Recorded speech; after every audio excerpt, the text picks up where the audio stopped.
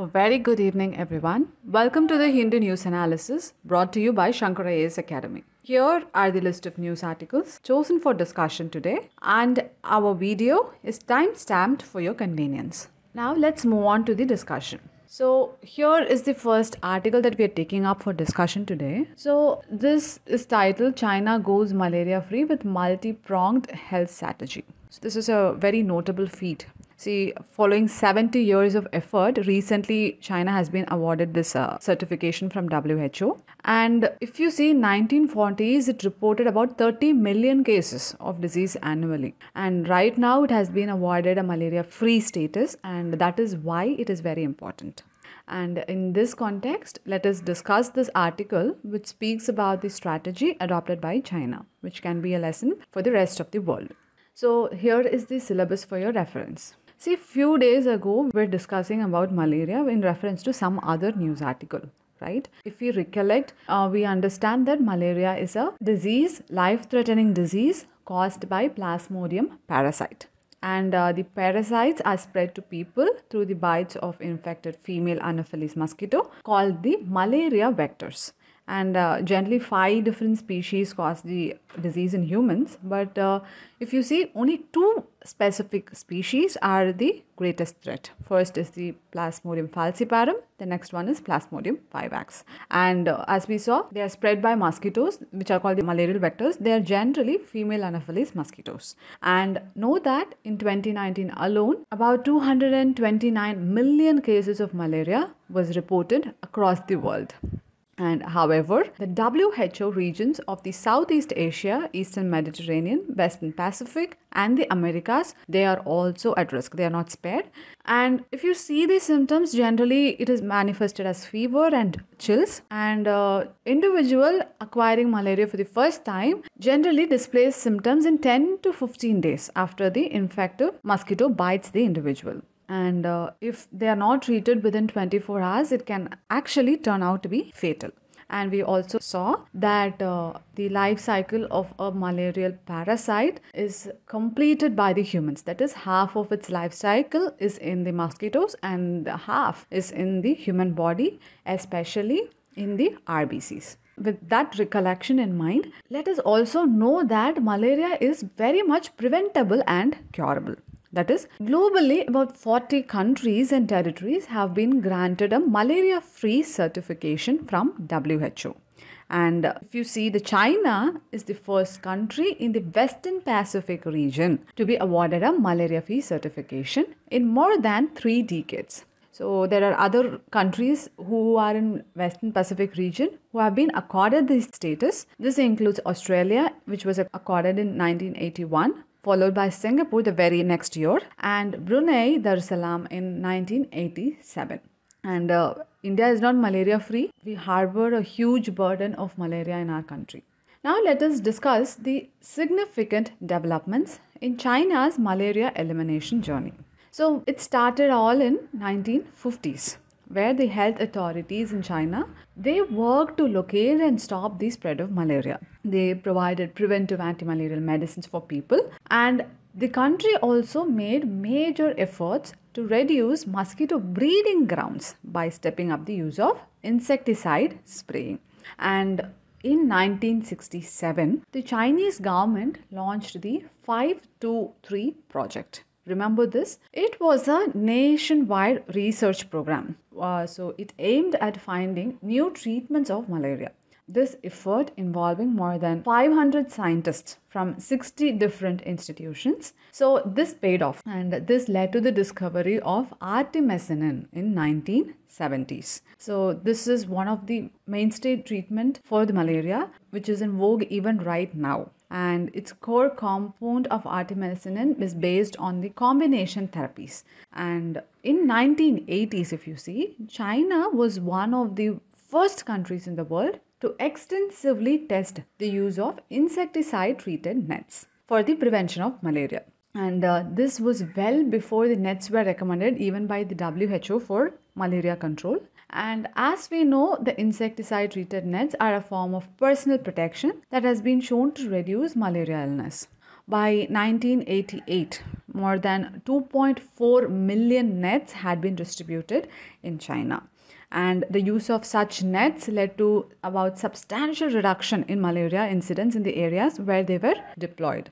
And by the end of 1990s, the number of malaria cases in China came down drastically to 1,17,000 and the deaths were reduced by 95 percentage. You can imagine in less than 50 years, this progress has been achieved. So in this journey, China was also helped by global funds to fight AIDS, tuberculosis, malaria. So this fund, remember, was launched in 2002. And in 2020, after reporting four consecutive years of uh, zero indigenous cases, China applied for an official WHO certification of malaria elimination. So, what is this indigenous cases? The cases that have seen spread and origin within the country. Okay, those are called as indigenous cases. But if non-indigenous cases is something that is imported from the outside. That is when a person lands inside china and that person is a carrier of malaria and they end up spreading and that is when it is a non-indigenous cases. So for four consecutive years china has not had any indigenous cases. So that is why it applied for the who certification. And in 2021 china was declared as malaria free country by the who so, to conclude, we can say that this significant feat achieved by China shall help countries like India to realign their roadmap. And it is also a very important strategy that India can adopt to reduce its own load of malaria. So, with that information in mind, let's move on to the next part of our discussion. Now, let us take up this news article. See, recently, US troops departed from the Bagram Air Base so, this airbase coordinated the 20 year long war in Afghanistan. And in this context, let us discuss the Afghan issue from the mains perspective. And this discussion is divided into four segments for a better understanding. So, let's see them one by one. The first one is regarding the reasons for US invasion of Afghanistan. First, that is the beginning of the issue. Second part will be the motives of the US in pulling back its troops right now, right, following the Doha Accord and all. And the third one is the role of Pakistan in Afghanistan politics. And the fourth one deals with India's interest in the entire issue. So the fourth part is going to be much more important, but the first three parts are very much important for understanding the fourth part. Alright, so here is the syllabus for your reference. So let us take up the first segment first. Reasons for the US invasion of Afghanistan.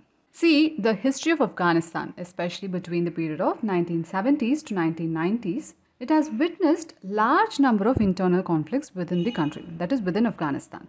And this internal conflict began in the year 1978 between anti-communist Islamic guerrillas and the Afghan communist government.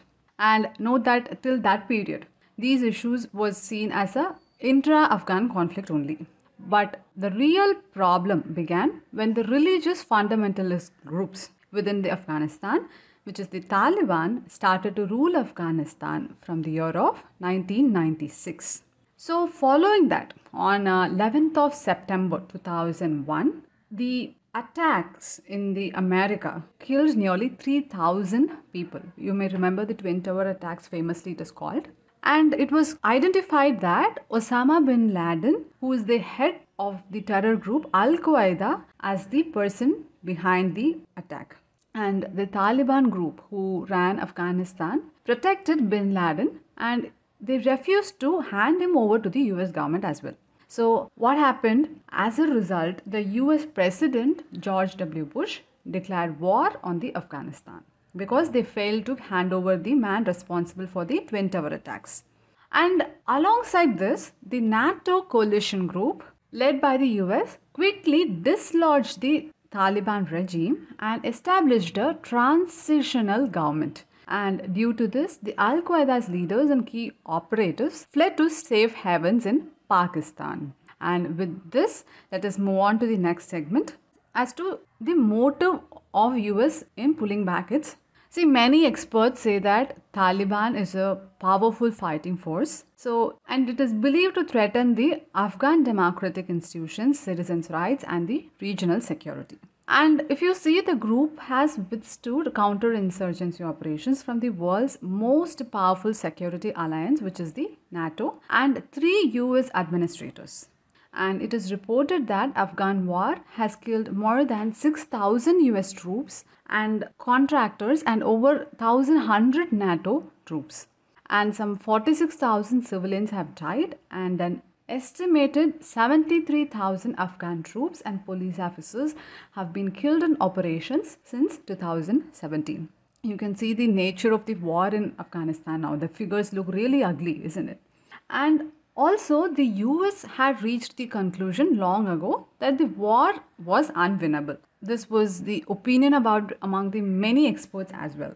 And in 2015 July, the Obama administration had sent a representative to the first ever meeting between the Taliban and the Afghan government that was hosted by the Pakistan in Murree. So note that the first meeting that brought the terrorist group to the negotiation table was hosted in Pakistan under the US directive, right? And following this, the President Donald Trump, who succeeded Obama, appointed a special envoy for Afghanistan. So, what was the mandate? It had a mandate to directly negotiate with the Taliban.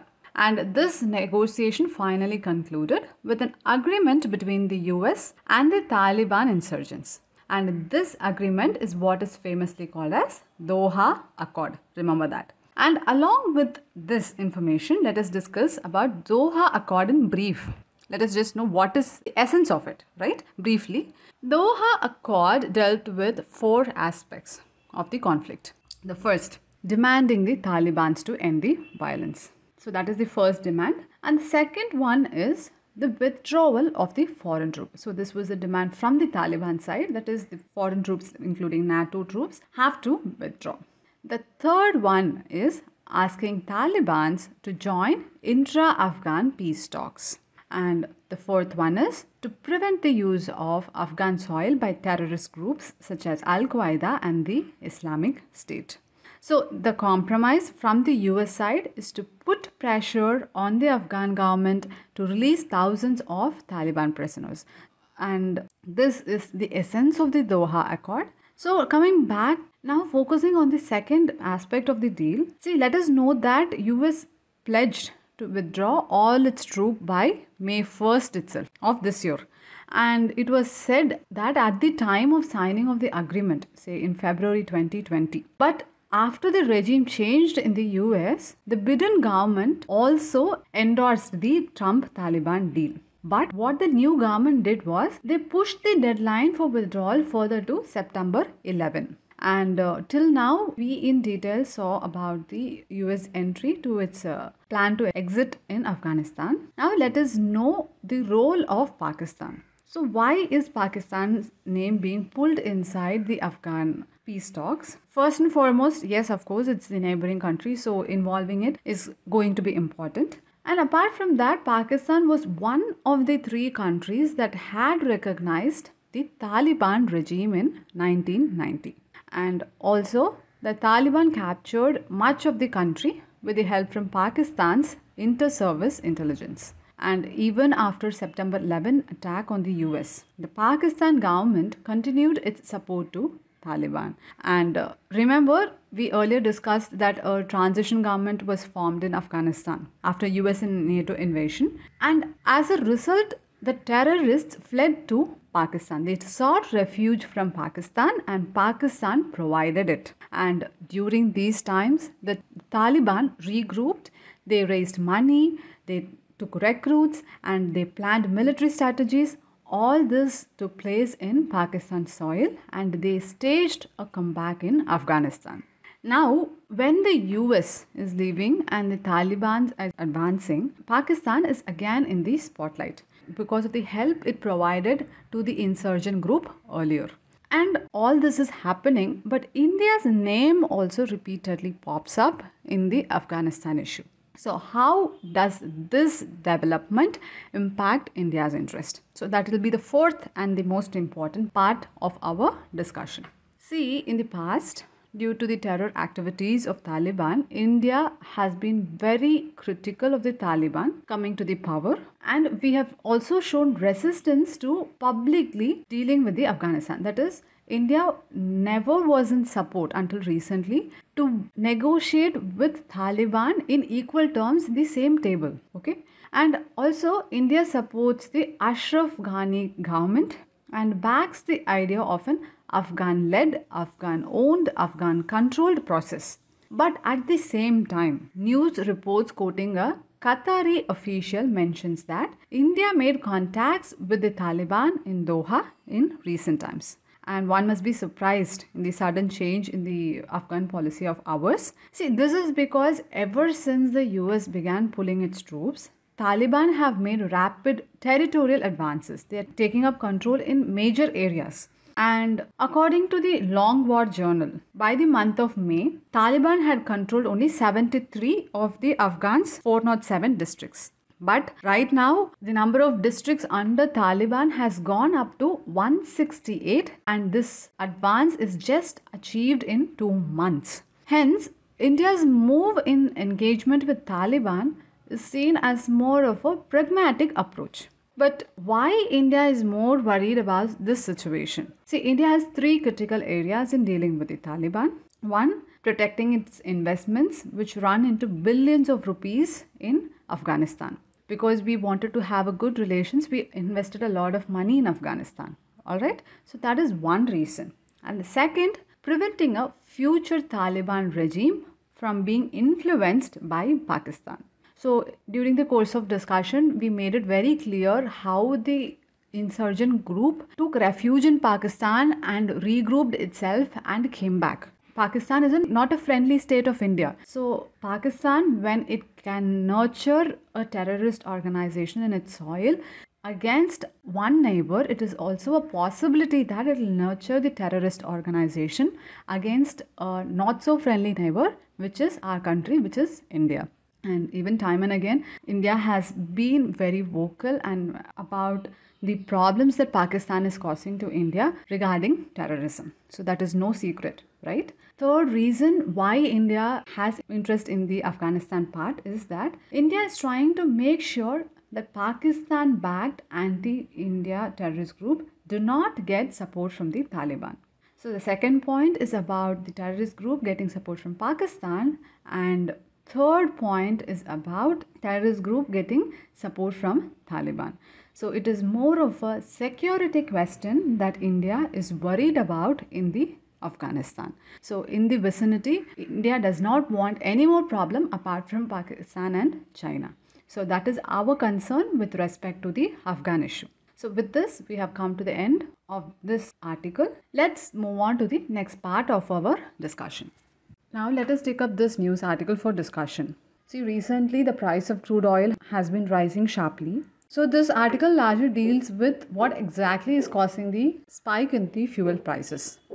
See in India the fuel prices has four major components. But first is the crude oil freight and processing charges to the dealer. The second one is the excise duty charged by the government. Next is the dealer commission to the gas station and then comes the value added tax levied by the state government. So as you can see, one component that is excise duty is charged by the central government and the VAT that is value added tax is levied by the state government. Now let us see the impacts of the taxes on the price hike. See, note that increasing central and the state taxes on fuel are the key reasons for the prices of petrol and diesel being this high in our economy.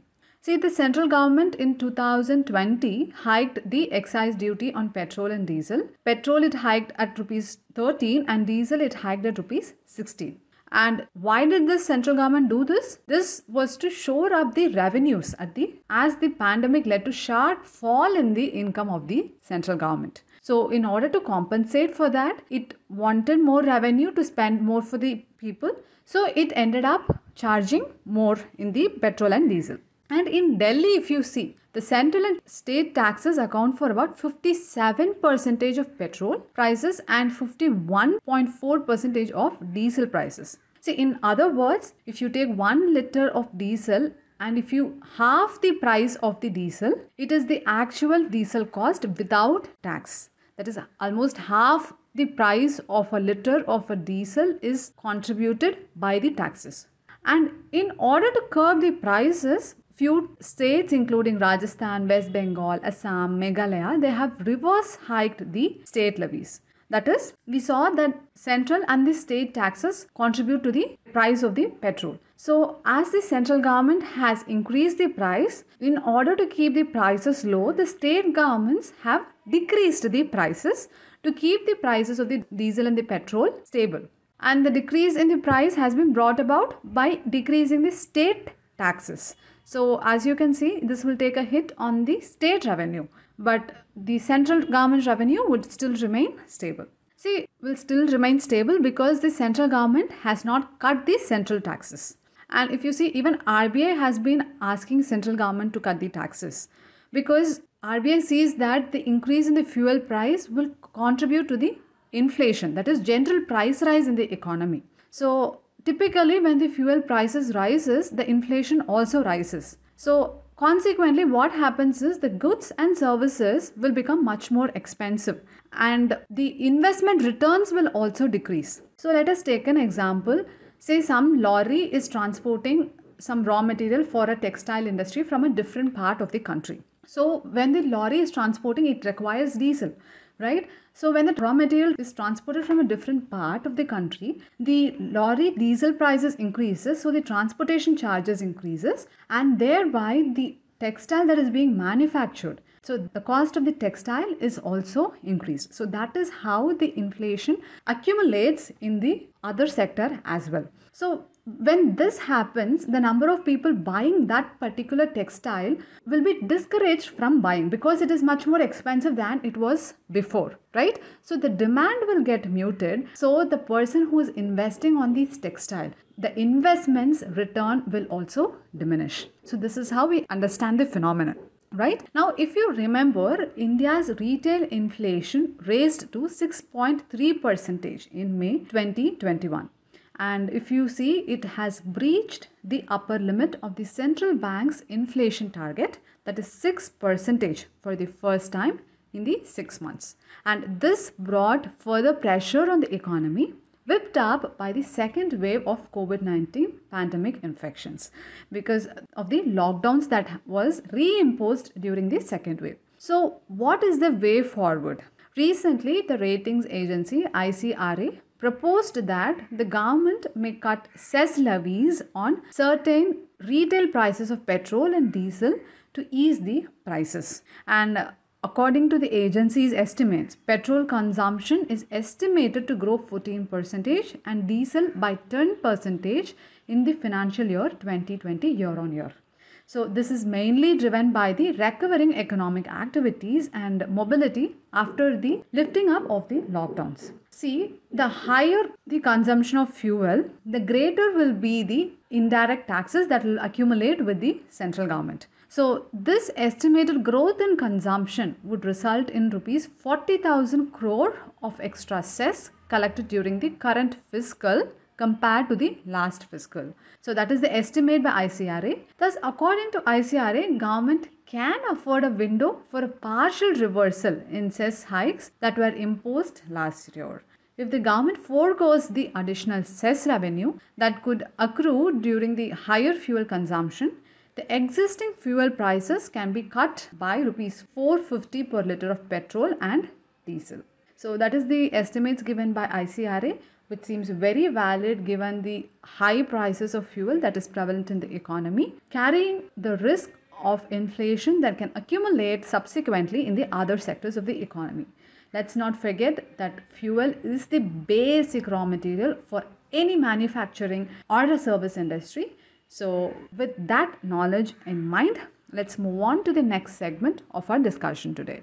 Now, our next discussion is going to be on this article See, this article is written on the basis of the green passport system that is making bus. See, this system of green passport has raised protests from India as well as the African Union. So, in that context, this article is more of an explainer about the green passport and the implications of it around the world. So, this is the syllabus that covers this article. So, before getting to know about this article, so let us know what is a green passport. See, recently the European Union implemented the EU Digital COVID Certificate and this is what is popularly called as green passport. So this green passport is expected to ease travel restrictions for people traveling to the EU country. That is, those people who are vaccinated will be allowed to travel to the EU country. That is the essence of this. And for that, green passport is a digital proof. Alright, so this green passport attests information on the vaccine information of the individual and this passport recognizes four COVID 19 vaccines. And all these four COVID 19 vaccines have been cleared by the European medical agencies or received negative test results or recovered from a viral infection. So, these are the criterias for one to get a green passport. Let's go over it again. First one is vaccination with four vaccines that have been cleared by the European Medical Agency. Number one. Second one is receiving a negative test result that is RT-PCR or someone who has been recovered from the viral infection. And if you see the certificate includes information such as the name, date of birth, date of issuance, the name of the vaccine or the details of the negative test result or the details of the recovery from the COVID-19. So these are the parameters that the green passport requires. And note that the certificate contains a digital signature in the form of a QR code and each issuing body has its own digital signature key all of which are stored in a secure database in each country.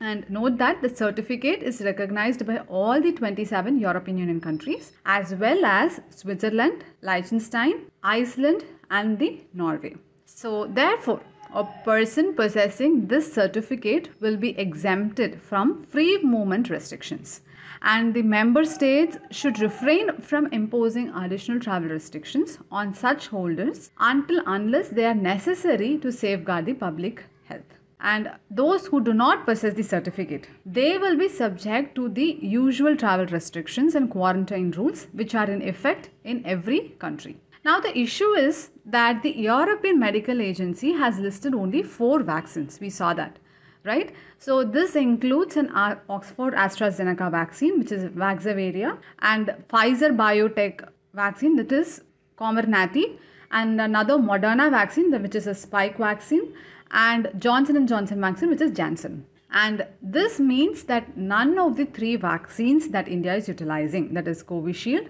Covax and Sputnik have featured in the list. This means that only essential travel is allowed into the European Union countries and that too special permission have to be taken from those traveling from India. So this has made traveling for Indians to Europe much more difficult right? And with the global concerns over the Delta variant, which was uh, first detected in India, more restrictions have also been put into place and making the travel more difficult. And according to the European Union, the reason behind excluding the Indian vaccine is that the Serum Institute of India vaccine, that is Covishield, is biologically a different product, which means that it needs to apply separately for an EMA clearance. So in this line, the Serum Institute of India and AstraZeneca are in the process of seeking clearance. But what is being left behind is the Covaxin. See, Covaxin is yet to gain recognition even from the World Health Organization. However, there is a hint of racism that is being claimed behind it. Because if you see all the vaccines that are being approved, they are being used by the North American people and the European people, but they have not been used in the other countries, that is, the third world countries as it is called, or the low income countries and the middle income countries. And WHO in this regard has held that the vaccine passport should not be made mandatory for travel and it should be optional only. So that is what WHO is calling for. Further, it stated that the proof of COVID-19 vaccination should not be required as a condition of entry and exit from a country. Now, coming to India's stand, what has India done in response to the green passport?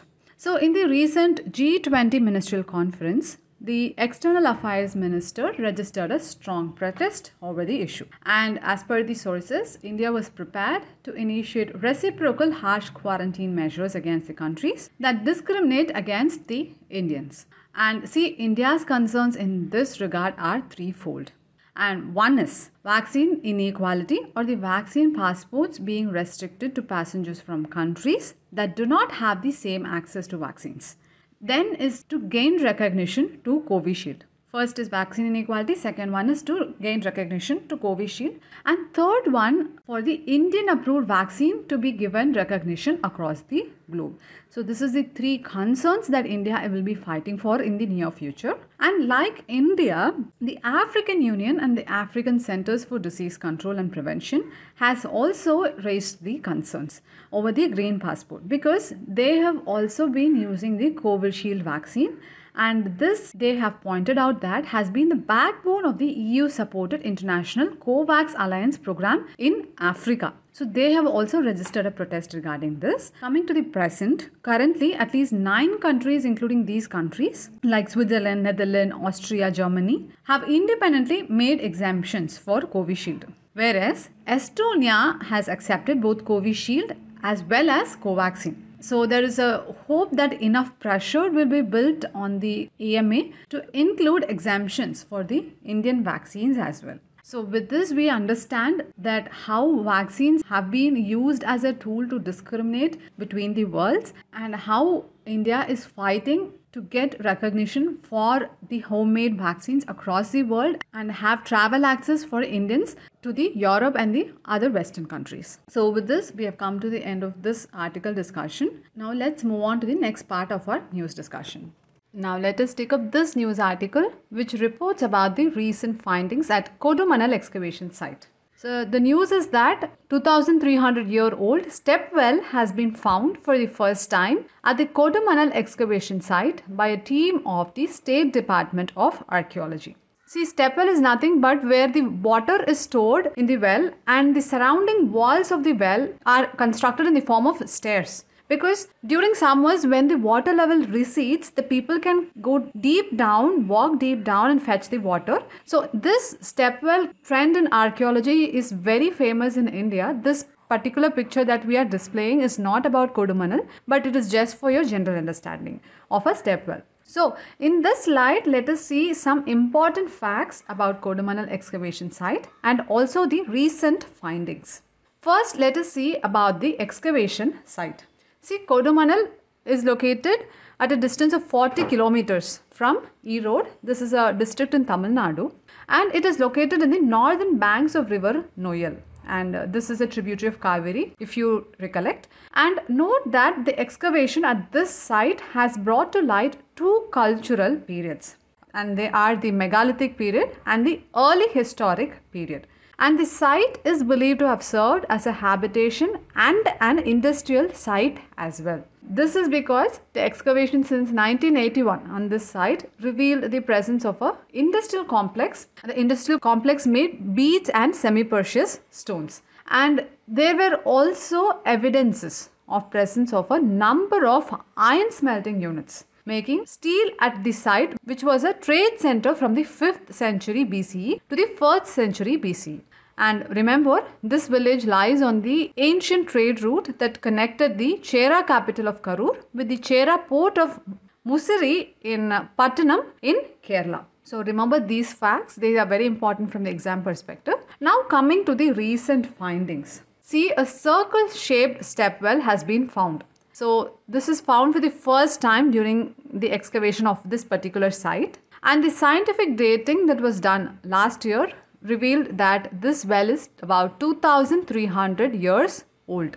And note that back in 2020, the team unearthed a rubble masonry wall of 3.5 meters, which was believed to be a waterway. So, in this line, during the current excavation, a trench was dug near the last year's trench to know more about the waterway. And this resulted in the discovery of the well and the well is found to be about 2.65 meters wide and the depth is expected to be known only after the deposits are removed and the step of the wells which is constructed using weathered rocks, slopes down from the ground to the well that served the habitation. And two rubble masonry walls existed on the either side of the steps. And since this site is believed to be a habitation come industrial site, as we saw earlier, the water from the well is expected to have been used both for household needs as well as for polishing the beads and the other industrial activities.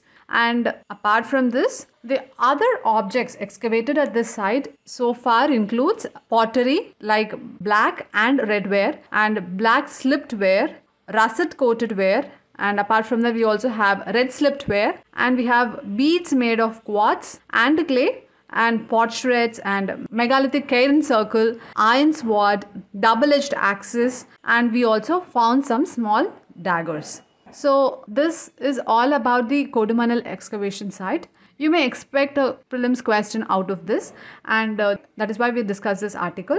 So with this, we have reached the end of this discussion. With that in mind, let's move on to the next segment of our discussion. Now, let us take up some small topics for discussion that are very important from the preliminary point of view. We have three topics in that direction. So, this topic is from the Trivandrum edition of the Hindu. So, this article talks about Subhiksha Kerala. Let us know about this scheme alone, which could be asked in the exam. See, this Subhiksha Kerala scheme was launched to attain self sufficiency in the state, especially regarding the agriculture and food. See, if you see, the Kerala state is not very self sufficient with respect to agriculture. It imports a lot of stuff from the other state. So, in order to cut the expenses in this regard, the government has launched this particular scheme. So, what does it do is the fallow lands in the state are being turned towards cultivation. And for that, various government machineries have been roped in to initiate the cultivation.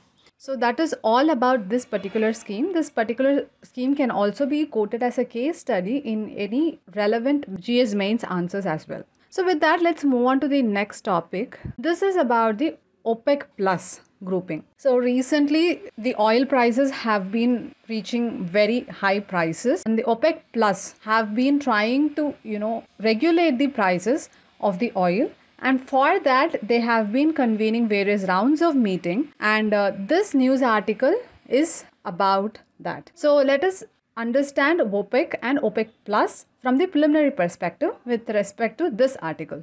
So first let us start with opec. Opec is nothing but organization of the petroleum exporting countries. And if you see it is a permanent intergovernmental organization and it has about 14 members and all these 14 members are oil exporting developing nations and if you see it was created in 1960 at the baghdad conference and it has five founding members that is iran iraq kuwait saudi arabia and venezuela and the other members of OPEC include Algeria, Angola, Nigeria, United Arab Emirates, and many others. And if you see, they are all oil rich countries capable of exporting oil.